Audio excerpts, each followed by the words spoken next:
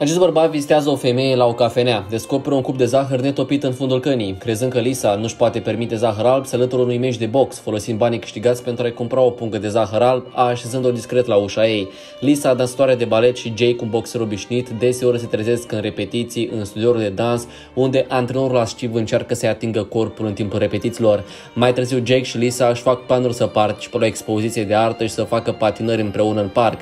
În ziua spectacolului Lisei, după ce ale să-și împlinească vis visul de a fi doamna principală, ea se plimbă cu mașina de lux a autocarului, lăsându-l pe Jake în picioare, în ploaie, ținând flori. Mai târziu, în timpul de antrenament privat, antrenorul încearcă să atingă din nou corpul Lisei. Lisa, incapabilă să mai îndure, își urmează inima pentru a-și găsi adevărata dragoste. Ea se întoarce la locul competiției și rea legătura cu Jake. Mai târziu, Lisa devine soția lui Jake, în cea faptului că renunță la dans își câștigă o familie fericită.